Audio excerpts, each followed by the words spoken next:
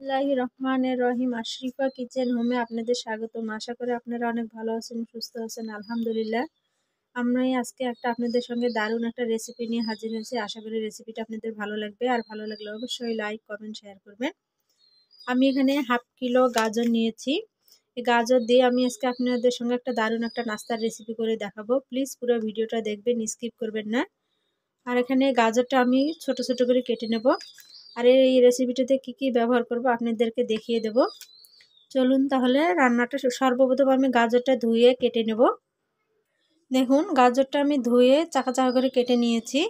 এখন রান্নার কাছে চলে যাব। গাজরটা হালকা সিদ্ধ ঘিরে নেব। দুই থেকে তিনটা সিটি দিয়ে নেব। আমি এখানে একটা প্রেশার কুকার নিয়েছি। প্রেশারে গাজরগুলো দিয়ে দেব।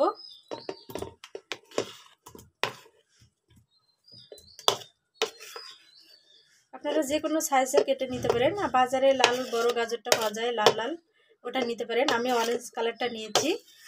অরেঞ্জ কালারটা হলে এটা অরেঞ্জ কালারটা আর লাল কালারেরটা নিতে পারেন। এখানে আমি নিয়েছি এক কাপ দুধ। রুম টেম্পারেচার ঠান্ডা দুধটা নিয়েছি। গরম ফ্রিজেরটা না। অবশ্যই এই দুধটা ইউজ করার আগে অবশ্যই ঠান্ডা নর্মাল করে নেবেন রুম টেম্পারেচার করে নেবেন। এখানে আমি এক কাপ পরিমাণ দুধ দিয়ে দেবো। দিয়ে এটাকে দুই থেকে তিনটা সৃষ্টি দিয়ে নেব।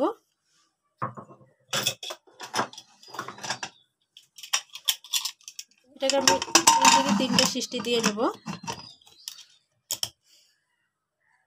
দেখুন, এটা আমার সৃষ্টিটা আমি তিনটা সৃষ্টি দিয়ে নিয়েছি। এটা আমার নর্মাল হয়ে গেছে ঠান্ডা। এখন এটাকে আমি ঢেলে নেব।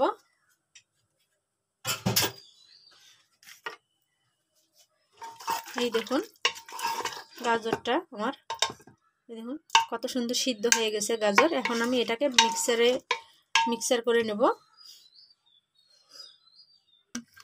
গাজরগুলো আমি মিক্সারে দিয়ে দিয়েছি। এখন অল্প একটুখানি দুধ দিয়ে দেবো ব্লেন্ড করার জন্য।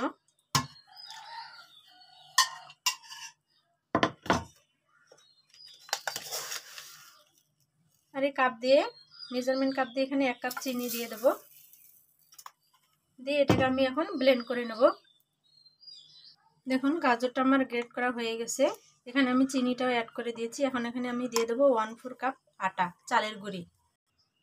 এখানে আমি এই চামচ দিয়ে এক চামচ চালের গুঁড়ি দেবো। দিয়ে এটাকে আবারও মিক্সড করে নেব।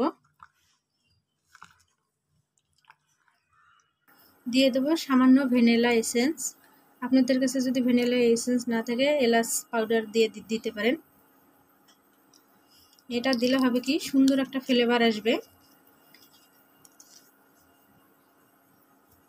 দিয়ে এটাকে আমি মেখে নেব, ভালো করে মিক্স করে নেব।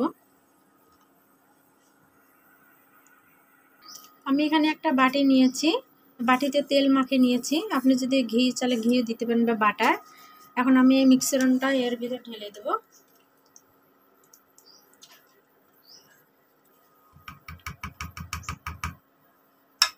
দিয়ে এটাকে ঝাঁকিয়ে নিয়ে যাব। এর ভিতরে যেন কোনো বাবুল না থাকে। আমি এখানে একটা কড়াই বসিয়েছি। কড়াইতে দিয়ে দিয়েছি একটা স্ট্যান্ড এখন আমি এই বাটিটা এখানে দিয়ে বিশ মিনিট এটাকে রান্না করে নেব।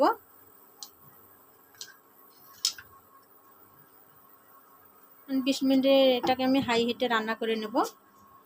ততক্ষণ আমি বাকি উপকরণটা এখানে রেডি করে নেব। এখানে আমি নিয়ে নেব এক কাপ পরিমাণ মিল্ক মানে দুধ। দিয়ে দেবো টেবিল চামচের দুই চামচ চালের গুঁড়ি। আর দিয়ে দেবো চিনি পাউডার। মানে চিনিটাকে আমি গুঁড়া করে নিয়েছি, এটা মিষ্টি হওয়ার জন্য এখানে দেব। আমি এখানে দুই চামচ দিয়েছি। দিয়ে দেবো ভ্যানিলা এসেন্স। দিয়ে এটাকে ভালো করে ফিটিয়ে নেব। যেন কোনো রকম দলা পাকিয়ে না থাকে, একদম মিশিয়ে যায়। আমরা গাজরের কত রকম কত কিছু করে খাই। গাজরের হালুয়া, গাজরের জর্দা, অনেক রকমের নাস্তা বানিয়ে খাই আমরা। কিন্তু আজ আমি আপনাদের সঙ্গে একটা দারুণ একটা নতুন রেসিপি আপনাদের সঙ্গে শেয়ার করতেছি। এটা বানানো খুবই সহজ আর অনেক অল্প উপকরণ দিয়ে এই রেসিপিটা তৈরি করা যায় ঘরোয়া পদ্ধতিতে। অনেক বেশি কিছু লাগে না। আমার এই বাটারটাও রেডি হয়ে গেছে। এটা আমি বিশ মিনিট ধরে শিম জাল রান্না করে নিলাম। এখন যে আমি এখানে বাটারটা গুলিয়ে নিয়েছি, সে ব্যাটারটা আমি উপর দিয়ে দিয়ে দেব। ব্যাটারটা আমি এখন উপর দিয়ে দিয়ে দেব।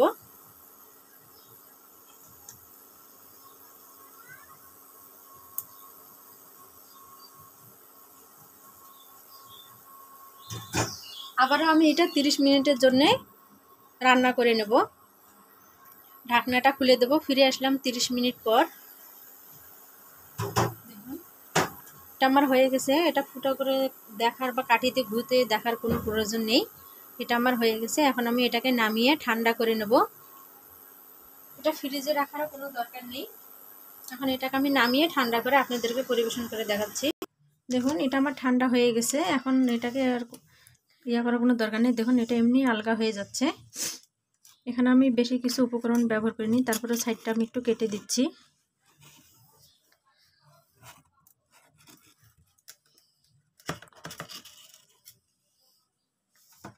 বাটিতে করে ঢেলে নেব। দেখুন আমার রেসিপিটা এখন আমি এটাকে কেটেই নেব।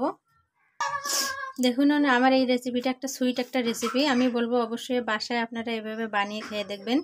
যদি ভালো লাগে অবশ্যই লাইক কমেন্ট শেয়ার করবেন আমার চ্যানেলটাকে সাপোর্ট করবেন পাশে থাকবেন। দেখা হবে পরের প্রতি নতুন কোনো ভিডিও ততক্ষণ পর্যন্ত আপনারা ভালো থাকবেন, সুস্থ থাকবেন। আল্লাহ হাফেজ।